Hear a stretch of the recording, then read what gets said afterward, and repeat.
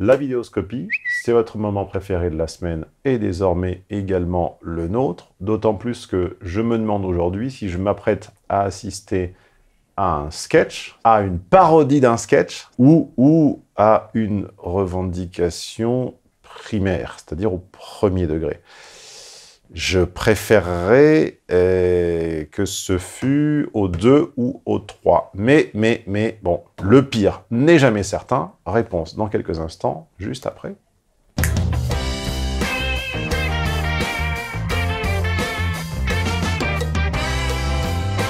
Qui a été fidèle tous les mardis du mois d'août avec une vidéoscopie inédite? Hein Qui? Je vous le demande qui Qui bah, Stéphane Edouard. Tout ça, ça veut dire que derrière, pour produire, j'ai une équipe. Et oui, je suis pas tout seul avec mon petit MacBook Air et ma Logitech. Qu'est-ce qui fait tourner la boutique et l'équipe? Eh bien, c'est l'offre VIP. L'offre VIP, elle avait échappé à l'inflation du printemps dernier, inflation qui n'avait concerné que les séminaires. Je vous avais laissé un petit peu de répit. Le répit, c'est terminé. Le VIP, à compter du 1er septembre, sera également augmenté. Raison de plus pour en profiter au mois d'août. Voilà, août 2022 dernière chance de profiter de l'offre VIP aux tarifs actuels affichés à l'écran avant réindexation. Je ne pourrais pas dire que je ne vous ai pas prévenu. Je m'appelle Gaëlle. Je m'appelle Swad et on est ici euh, à XY Media pour parler de la marche lesbienne de 2022 à Paris. Et si on est là, c'est pour vous présenter euh, quelles sont nos revendications et faire un état des lieux sur l'état actuel des droits des lesbiennes en France et pourquoi on a besoin de marcher. Certaines d'entre nous avaient euh, déjà participé à l'organisation de la marche lesbienne de 2021. Moi, j'étais dans le cortège en non-mixité Je ne comprends pas bien, sachant qu'il ne me semble pas y avoir de promiscuité. Ces deux femmes ne sont pas à côté l'une de l'autre. L'image est monté de sorte à le laisser croire, mais quand on le regarde bien, ce sont deux plans à coller. Je ne comprends pas très bien la nécessité du masque, si ce n'est le symbole ou, le signe. Il y a quelque chose de l'ordre du signe et du message de soumission à exhiber un masque en interview face caméra qui est extrêmement déplaisant. Non, votre masque. Et troisièmement, euh, de manière beaucoup plus subjective, celle-ci, euh, ce qu'on voit est très triste. J'ai commencé en introduction à vous dire je m'attends à un sketch. Là, c'est pas drôle du tout. Et euh, il y a quelque chose d'inquiétant, en fait, dans le regard de ces gens, surtout la saoudienne. Enfin, c'est pourquoi je dis qu'elle est... Ah oui, parce qu'elle s'appelle Swad. Donc euh, Swad, Saoud, je sais pas, il y a une espèce d'homonymie étrange. Elle a un regard de, folle, hein, je suis désolé, elle est possédée. Elle a les yeux euh, grands ouverts, fixes, là. quelque chose de menaçant. Hein. C'est marrant parce qu'elle a pas l'air totalement super moche. Et je pense qu'elle aura un regard plus normal et plus pacifiste. Elle eût pu être la jeune fille à la perle de Vermeer, avec peut-être dans, la blancheur et dans la délicatesse euh, quelque chose de l'ordre de la Fornarina de Raphaël. Mais là, en l'occurrence, on a simplement l'impression qu'elle va poser une c'était racisé, où euh, on s'était battu pour euh, l'avoir et on avait réussi à faire une très belle marche. Et du coup, on a voulu recommencer cette année à nouveau, vu qu'on voyait qu'il euh, y avait ce besoin au niveau des lesbiennes, que c'était réclamé. Et du coup, j'ai invité Gaëlle et beaucoup d'autres à venir nous rejoindre. Aujourd'hui, plus que jamais, il est important de se mobiliser et de prendre la rue. Alors, un, je ne comprends pas qui porte atteinte à vos droits d'homosexuels en France, sachant que l'homosexualité n'est, jusqu'à preuve du contraire, pas reconnue comme une catégorie socialo-économique et certainement pas euh, comme un motif de discrimination, en tout cas pas en France. Peut-être chez toi en Arabie Saoudite, cher, cher Souad, mais euh, chez nous, c'est pas le cas. Deuxièmement, je ne comprends pas ce qui t'empêche de sortir. Troisièmement, je ne comprends pas ce qui t'empêche de marcher, puisque ça semble être ta, ta, ta, ta grande passion. Et puis quand tu dis qu'il faut prendre les rues, moi j'ai cru comprendre que la prière de rue était déjà quelque chose de relativement courant pratiqué par tes congénères, et qu'au contraire, ceux qui avaient du mal à sortir dans la rue, c'était les indigènes, hein, euh, pour qui euh, une ancienne ministre avait recommandé euh, d'élargir les, les, les, trottoirs. Moi, j'entends que tu veux marcher dans la rue, Swad, j'ai envie de te dire, comme Hervé Bazin, lève-toi et marche. Qu'est-ce qui t'en empêche? Je comprends pas. C'est pas moi, c'est pas nous. Euh. personne ne t'empêche de te déplacer dans la rue avec tes, avec tes consoeurs, avec tes, tes congénères, tant que vous la bloquez pas. Le droit d'exister. Alors, on vous appelle à marcher avec nous. Bah, le droit d'exister, le droit d'exister, j'ai l'impression que tu l'as plus chez nous qu'à la Mecque, non? Qu'est-ce que t'en penses? Lesbienne du 23 avril 2022. Ah mince, on l'a raté, la date est passée. À Paris, à 13h. Et nous passerons du coup par la Bastille. Euh, enfin, nous terminerons la marche à République avec des prises de parole. Nation Bastille République, c'est vraiment un parcours jamais vu pour une manif. Moi, j'avais des amis dans le 11e, ils ont déménagé, ils n'en pouvaient plus simplement d'avoir des manifs de gauchos euh, tous les samedis en, bas de chez eux. On peut effectivement les, comprendre. Après, bon, l'avantage, c'est que les lesbiennes racisées en France, euh, on doit être sur quelques dizaines de personnes, donc ça ne doit pas non plus bloquer les boulevards. Différentes associations où uniquement des lesbiennes parleront de leur propre vécu en tant que lesbiennes et d'autres problématiques qui leur concernent aussi. Oui, bah, donc à ce moment-là, euh, recréons la partition par sexe, par genre, par âge, par orientation et par couleur rétablissons l'apartheid, la non-mixité à l'école, la non-mixité dans les dortoirs, et pourquoi pas euh, la porte pour les hommes et la porte pour les femmes dans les magasins. C'est très bien. C'est-à-dire qu'au titre de l'antiracisme, rétablissons l'apartheid. Moi, je dis bravo, c'est un, un beau projet, euh, SWAD. Et au prochain euh, gouvernement qui sera donc élu le lendemain de la marche, nous nous battrons pour nos droits et nous n'arrêterons pas. Alors, l'année dernière... Oui, alors moi, dans ce regard, je sens le, je sens le combat. Après, ce que je ne comprends pas bien, c'est pourquoi tu veux combattre contre, contre moi? Parce que moi et les miens, je veux dire, euh, on ne t'a rien fait, au contraire. On te supporte plus que les tiens. Alors moi, je, comme ça, je lance des hypothèses pour rire sur le pays d'origine de Swad, hein, mais c'est peut-être pas l'Arabie Saoudite, hein, c'est peut-être le Maghreb, c'est peut-être euh, le Moyen-Orient au sens large. Euh, là-bas, tu serais soit violé, soit lynché, soit morte. Hein. Euh, si tu revendiquais ouvertement euh, des prétentions et des velléités LGBTistes. Donc j'ai envie de te dire, calme-toi. Ne t'inquiète pas, ça va bien se passer. Tu ne seras jamais accueilli aussi bien qu'ici en Occident.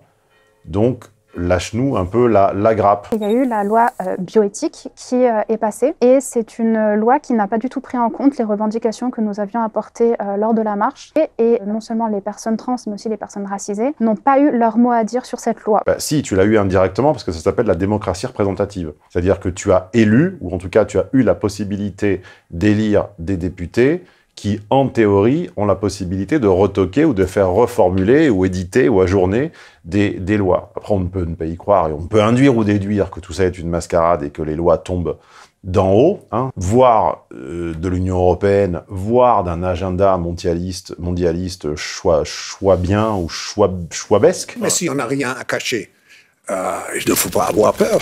Enfin, nous ne sommes pas complotistes sur cette chaîne, donc en fait, nous feignons d'ignorer euh, tous ces agendas euh, et la manière dont ils s'articulent et se, et se recoupent. Mais en tout cas, euh, c'est un peu facile. C'est-à-dire que si tu réfutes le principe de la démocratie participative, encore une fois, il y a 324 pays dans le monde, tu es libre d'en choisir un ou la démocratie parlementaire euh, n'existe pas, ne serait-ce que, que, dans la forme, tu vois. Donc, euh, en, clair, tu es libre de, te casser hein, si tu n'es pas contente. Et déjà, l'avoir appelée loi bioéthique a été un gros problème au niveau de nos revendications. La PMA n'est pas ouverte aux personnes trans, ce qui est très grave et euh, nous n'avons pas eu droit à l'appariement pour les personnes racisées, pour, euh, en particulier pour les lesbiennes noires qui euh, ne peuvent pas avoir du coup d'enfants qui leur ressemblent, c'est-à-dire qu'elles sont obligées. Moi je croyais qu'il y avait une façon très simple d'avoir des enfants qui nous ressemblent, qui était de les faire avec un partenaire du sexe opposé. Bon. Et je croyais que si on ne pouvait pas ou qu'on ne voulait pas, on acceptait l'arbitraire de l'adoption, qui était que quand on adopte, eh bien, on a euh, généralement euh, un petit Haïtien qui arrive, euh, ou un petit Sri Lankais, ou un petit Africain. Quand on adopte, on est justement par définition antiraciste, puisque si on adoptait, c'est-à-dire si on enfreignait, entre guillemets, l'accouplement naturel, et qu'on se procurait un enfant par d'autres moyens, on acceptait d'abdiquer sur le, mimétisme. On, on élevait quelqu'un qui ne nous ressemble pas manifestement, euh, maintenant, certainement pour des raisons de nombre, hein, souvenez-vous toujours, pour demander à changer le programme à la télé, ça c'est du, baricot dans les, barbares, euh, pour demander à changer le programme à la télé, il faut être suffisamment nombreux. Hein, C'est-à-dire que si vous êtes tout seul euh, chez un groupe de potes ou dans une famille, vous n'oserez jamais demander à regarder autre chose. Si par contre, au lieu d'être un chez trois ou quatre personnes, vous finissez par être huit ou dix chez trois ou quatre personnes, croyez-moi, vous n'allez pas longtemps continuer à, regarder les, les chiffres et les lettres ou je ne sais quoi, et vous allez pouvoir, par simplement la force du nombre, imposer votre, votre, votre programme. Donc, est-ce par le nombre? Est-ce par des soutiens? Est-ce par des agents d'influence? Est-ce par un projet mondialiste cosmopolite? On ne le sait pas. En tout cas, maintenant, il semblerait que la communautarisation ait franchi un pas supplémentaire, qui est que non seulement on avance toujours d'un cran vers la marchandisation du, nourrisson, hein, d'ailleurs c'est déjà en place, il y a des couveuses euh, euh, en Europe de l'Est, euh, il y a des couveuses en Asie, il, y a des couveuses, il y a des couveuses un peu partout. Donc on est passé du Pax au mariage pour tous, puis à la procréation, puis à la gestation pour autrui. Bon, et ben dans cet agenda où les pions avancent à chaque fois d'un cran vers la finalité qui va être la commande d'enfants sur, sur, sur, Internet, eh bien, euh, désormais, il y a un autre pion qui est avancé, qui est le non-métissage, enfin, c'est-à-dire le, mimétisme euh, phy- physique. C'est-à-dire, en gros, le racisme, quoi. C'est-à-dire que c'est un néo-racisme euh, indigéniste au nom des valeurs de l'antiracisme. Cool, on est tous racistes C'est ça le vivre ensemble Et là, moi, je dis bravo. Je... Chapeau. quand on sait que euh, Macron va utiliser à nouveau le fait d'avoir passé euh, des lois pour les personnes LGBT, euh, alors que concrètement, nous ne sommes pas son électorat. Ça a été important. Macron va utiliser le fait. Elle a un français très lourd, hein, pour quelqu'un qui a manifestement grandi chez nous, euh, il y a toujours des problèmes de syntaxe. Euh, Macron va utiliser le fait qu'il a passé des lois dans l'intérêt des personnes LGBT, mais tout à coup, ça, ne suffit pas au titre que nous ne sommes pas son, son électeur. Je ne comprends pas le raisonnement, en fait. Je veux bien vilipender Macron. Je l'ai fait de manière argumentée, circonstanciée, à chaque campagne depuis cinq ans. J'ai lu son programme, je l'ai confronté à ses contradictions, à ses mensonges, à tout ce qu'on veut. Mais là, je ne comprends tout simplement pas ton argument. Ça a été important pour nous de euh, mettre aussi en avant euh, les droits des demandeurs d'asile parce que euh, dans certains pays qui ont un- difficilement accès euh, aux droits d'asile ici en France, c'est la peine de mort d'être euh, LGBTI. Donc Bah oui, mais en quoi on est responsable? Je comprends pas en fait. Tu t'adresses à qui là exactement? Tu t'adresses aux pays d'accueil en les stigmatisant pour des sévices, Ouh là là, ils sont des menaces, des pratiques euh, moyenâgeuses, entristes, qui se passent à l'étranger. Mais, mais, mais lâche-nous la bite un petit peu, Swad. Lâche-moi la bite Mais on n'y est pour rien. Si dans ton pays, vous vous faites lyncher, t'as le droit d'être ici, t'as le droit de le dire, et t'as le droit de publier des contenus lénifiants de l'ordre du pastiche, où tu nous regardes en nous menaçant, en expliquant que tu vas sortir prendre la rue. Moi, je suis très tolérant, j'ai beaucoup de patience, mais là, j'ai envie de te dire, Cuisine là, je pense que ta place, c'est vraiment à la cuisine, là, par contre, hein, ça suffit. Fâchez-vous comme vous voulez, je m'en fous Donc il est important de pouvoir les prioriser et euh, de pouvoir les mettre en sécurité. Si on doit protéger les droits des personnes lesbiennes, on doit protéger les lesbiennes de France, mais aussi les lesbiennes étrangères, les lesbiennes migrantes. On ne peut pas protéger seulement une partie des lesbiennes, en fait. On demande un vrai accompagnement des euh, demandeurs d'asile afin de euh, faire des dossiers et que les critères pour la demande d'asile soient simplifiés et beaucoup plus accessibles à tous. Oui, bon, bah, ça, c'est de l'injonction sans, sans frontiériste de, de base, hein, c'est-à-dire que le gâteau est de taille infinie et il est découpable en autant de parts que qu'on qu'on le désire, en fait. hein. C'est-à-dire qu'on repousse les limites du possible simplement par décision politique. Et donc, on aura euh, toujours assez de richesses euh, pour faire vivre tout le monde sous un principe de redistribution avec une base qui travaille de plus en plus, de plus, en plus faible. Ça, c'est se prévaloir d'une idéologie qui enfreint tout simplement le, le réel. hein. C'est euh, quand la prophylaxie euh, ne permet pas d'apprendre de l'expérience. fondamental que la communauté LGBT aujourd'hui s'associe plus avec les luttes antiracistes, avec les luttes pour les droits des handicapés, pour les droits des folles, etc. Tout simplement parce que aujourd'hui, ce sont des groupes qui sont tous menacés et ce n'est que- qu'en s'unissant qu'on peut arriver à s'en sortir. Jusqu'à où va aller le découpage des communautés? C'est-à-dire qu'il y, y a 20 ans, on nous disait la communauté homosexuelle. Maintenant, c'est la communauté des homos hommes, des homos femmes, des trans, des queers, des folles, des... C'est-à-dire que, euh, est-ce qu'à un moment, à l'instar de Bigard et le, le sketch de la chauve-souris, le découpage va s'arrêter quand on est un, en fait, dans chaque communauté? Est-ce que la France va être 60 millions de communautés euh, enfin 60 millions, une communauté par foyer ou par individu? Et aujourd'hui, nous sommes confrontés à devoir choisir entre voter pour Marine Le Pen et voter pour Macron.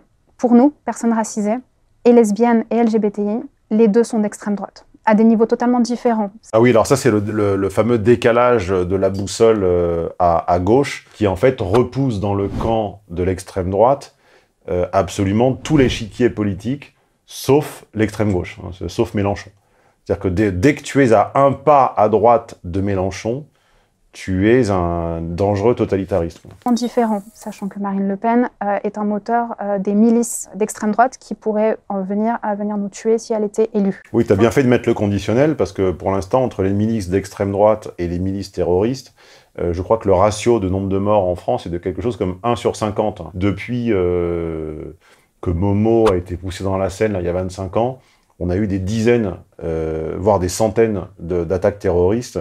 Euh, aucune n'est attribuée à l'extrême droite. Mais évidemment, dans un futur uchronique totalement hypothétique, soit de les voix par milliers dans les villes, dans les campagnes, hein, déferler dans la rue.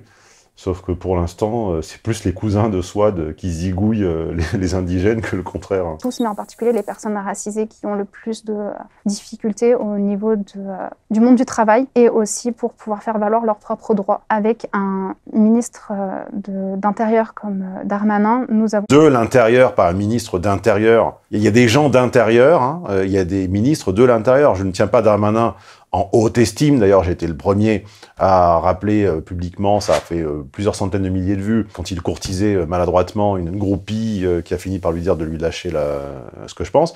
Mais ce ton vindicatif, menaçant, dans un français pauvre, avec des idées non maîtrisées, finit par me, me rendre hors de moi, en fait. C'est... Je, suis exsangue d'entendre ces, ces, ces connes-là. Nous avons pu voir que euh, les violences policières n'ont fait que continuer et n'ont jamais Mais sur qui? Et cela ne peut faire que Tu peux me montrer, euh, Swad, des violences policières sur des gens voilés en France? Tu peux me montrer hein, des violences policières sur des barbus? Tu peux me montrer des violences policières sur de, de l'uber-prolétariat raca- racaillisé cela ne peut faire que augmenter avec euh, un deuxième euh, mandat de Macron. Bon, écoutez, là, le, le- le- le sketch a assez duré. Je crains qu'il ne faille renvoyer Swad à une pièce de la maison un peu confinée, hein, où elle, d'ailleurs elle pourra enlever son, son masque. Et je pense qu'il est temps qu'Elon Musk conclue le rachat de, de Twitter pour qu'au moins euh, d'autres, plus, plus nuancés, plus construits, plus vertueux, et finalement les rééquilibrent et les, les fasse tomber dans, dans, dans, dans les oubliettes de l'histoire d'Internet, là. Et puis, on ne sait jamais, avec un peu de chance, euh, peut-être euh, Swad et, et son ami euh, seront un jour tentés de, de remigrer vers un pays plus bienveillant, parce que là, je pense que la France atteint ses limites. Et il fera connaissance, le pays de ses ancêtres.